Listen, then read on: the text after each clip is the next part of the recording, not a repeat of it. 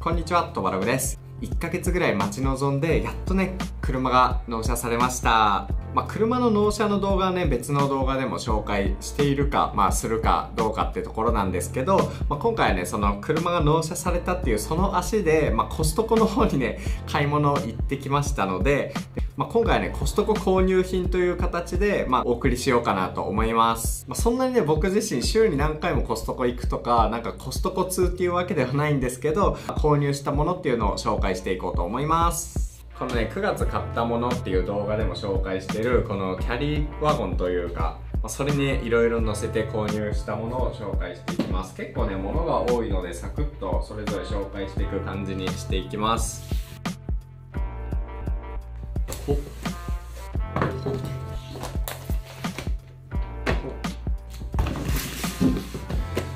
はい、まずね食品で言うとねこんな感じですね、まあ、僕らは2人暮らしなのでそこまで多くのものは買ってないんですけど結構ね面白いものを買っているので紹介していきます。はいまず購入品としては、まあ、コストコといえばこれっていう感じもあると思うんですけどこのチキンですね。ロティサリーチキンっていうやつで、まあ、鶏というか鶏肉が丸々入って699円っていう驚異の安さのチキンですね。これも結構定番っていう感じでみんな買い求めてるんで味とか知ってる人多いんじゃないかかなと思うんですけど、まあ、結構ね濃いめの味付けがしっかりされていてで店内でローストしているチキンですね。もちろんこのまま食べてもいいんですけどこのまま食べるとさすがに多すぎるので、まあ、我が家ではこれをねちょっと小分けにして冷凍しておいて、まあ、食べたい時にねサラダに混ぜて食べたりとかあとま炊飯器でそのままご飯炊く時に入れたりとか、ま、カレーに入れて使ってみたりとかね割とそういう風にね幅広く食べてるチキンですね。これはね本当にビッグマックセットぐらいの価格でこのチキンが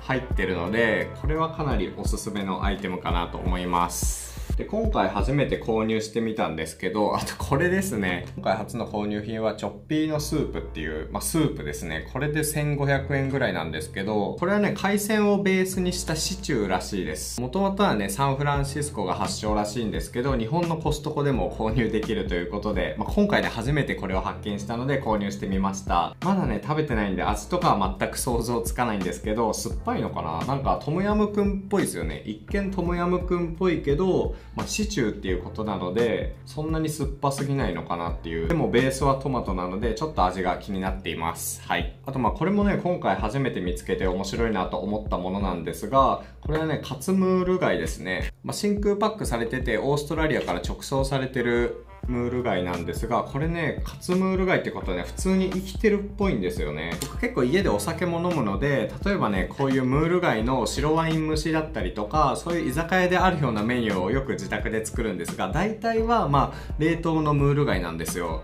でカツムール貝ってなかなか見たことなかったんで今回これにトライしてみようと思って購入しています、まあ、価格がね 1kg で800円っていうことなので、まあ、冷凍よりは若干高いのかなと思うんですが、まあ、このまま普通にカツムール貝っていうことなんでめちゃくちゃちょっと楽しみですね。これも白ワイン蒸しにして食べてみようと思います。ねこれはねカットパイナップルマスティックパイナップルですね。これがめちゃくちゃ美味しいんですよ。これもコストコ行った時は絶対購入してるんですけどでこれ防腐剤添加物は一切使用してないって書いてあってこれめちゃくちゃ甘いんですよね。これすごい甘くてそれでいてあの缶詰みたいな甘ったるさは全くなくて本当に素材の味っていう感じのスティックパインなのでこれは本当になんかお風呂上がりに冷凍して食べたりとか、まあ朝ごはんの時にね、朝ごはん僕あんまり食べないんで、これだけちょっとパクって食べるとか、そういう感じで食べてます。2本入りが5袋なので、だいたいね、1本80円とかそのぐらいの価格感なので、まあ、もしコストコに行った人はぜひチェックしてみてください。スティックパイナップルですね。これはめちゃくちゃおすすめです。あとね、これも初めて買うんですけど、普通のワッフルですね。パールシュガーワッフルで18個入りで、まあ、1148円っていう感じのコストコに売ってそうな感じのね、ワッフルです。どんな感じなんだろう？ちょっと開けてみようか。ほ、あー、こんな感じか。あ、いいですね。結構ね、こういう感じのしっとりとしたワッフルで僕も食べたことないんですけどちゃんとねバターで作られていて砂糖も結構あるのでカロリーはかなり高めなんじゃないですかね。僕あんまりね朝ごはんを食べられないタイプなので結構ねこういうものとかあとミニクロワッサンとかをよく食べるんですがワッフルとかは本当にねオーブンでカリッと仕上げてからメープルシロップかけて食べるとかなんかそういう風な朝ごはんだったらね本当にねカロリーも摂取できて頭もすごい働くのでいいんですよね。このコストコのワッフル自体は食べるのが初めてなんですけど結構ねこれも楽しみです。で、まあ、あとはね食品というかこれですね、まあ、食品は食品なんですけど普通にアサヒドライゼロのノンアルコールビールです、まあ、ノンアルコールビールっていうよりかはビールテイスト飲料ですね。結構僕家でねビールを飲むんですけど、まあ、昼間からちょっと飲みたいっていう時もあるじゃないですか。だけど昼間から飲むとその日の午後とかね昼寝したくなっちゃうんですよね、まあ、動画作んなきゃとか思ってるのに全く作業できないっていうことがあるので、まあ、お昼はね大体このビールテイスト飲料を飲んでます、まあ、結構ねドライゼロが割とそのビールテイスト飲料っていう中でも本当にビールに近いというかなんかねさっぱりした発泡酒みたいな感じで楽しめるんで結構ねこれは重宝してます。まあコストコだとなんか 550ml ぐらい入ってるドイツかなリトアニアかリトアニアで売られてるノンアルコールビールっていうのも売ってるんですけどそれだと、まあ、アルコールのパーセントで言うとノンアルコールビールっていう名前だけど0.5%ぐらい入ってるらしいんですよね。なので、まあ、午後からちょっと車に乗って出かけたいっていう時はちょっと厳しいので、まあ、ビールテイスト飲料を使うっていう感じですね。僕ビールテイスト飲料料はサントリーのライムショットっていうやつとあとねこのアサヒのドライゼロっていうのをよくね飲んでるんですけどまあなくなるたびにこうやって24回入れで購入しています。で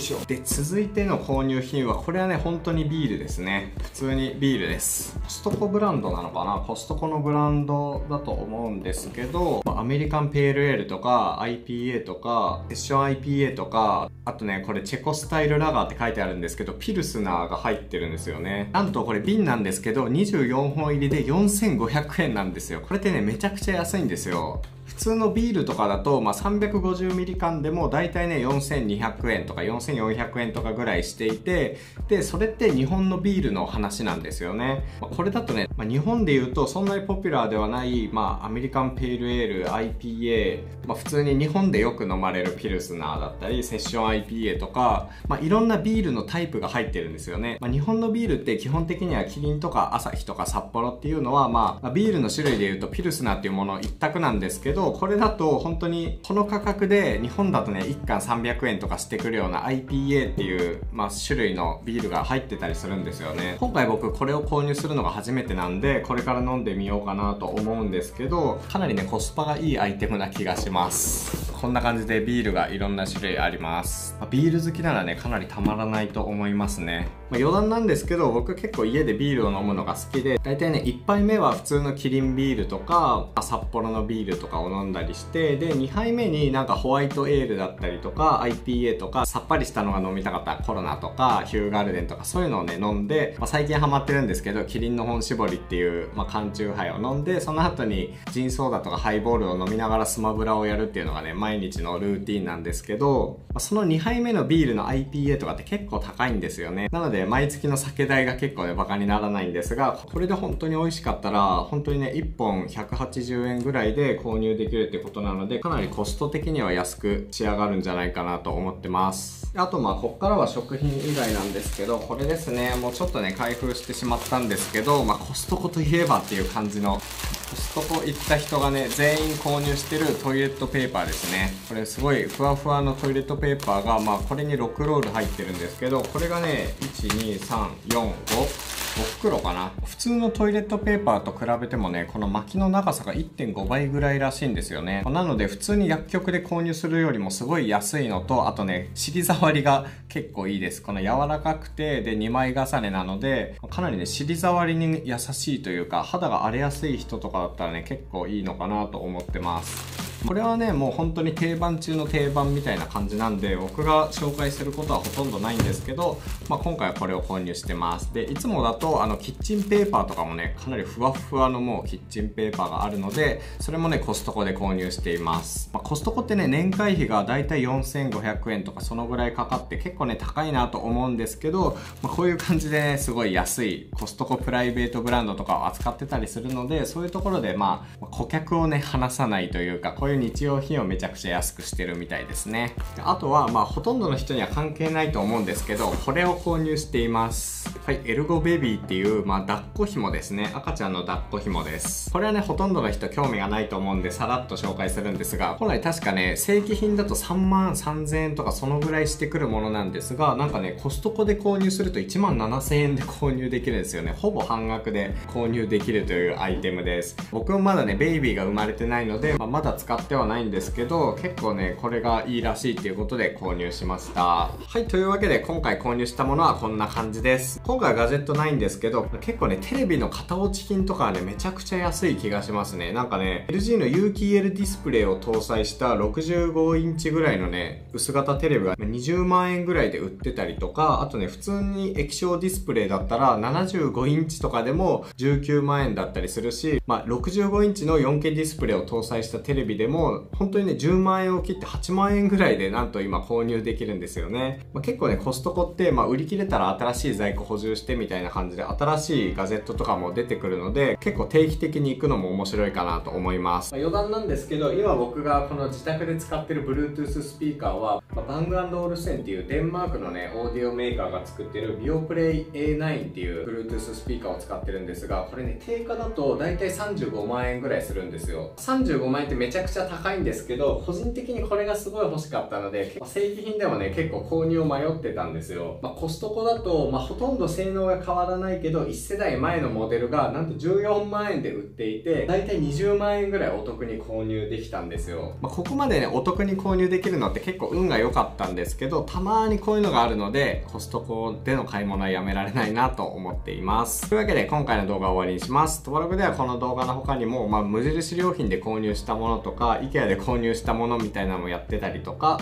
あとまあね、人のカバンの中身とかをインタビューしているので、ぜひ他の動画もチェックしてみてください。それでよかったらぜひチャンネル登録もお願いします。というわけで、次の動画でお会いしましょう。トバログでした。